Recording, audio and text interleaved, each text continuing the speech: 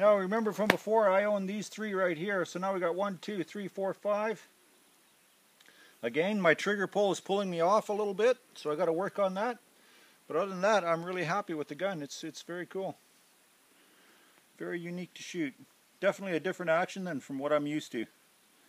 But at the end of the day, I'm sure the gun is far more accurate than I am.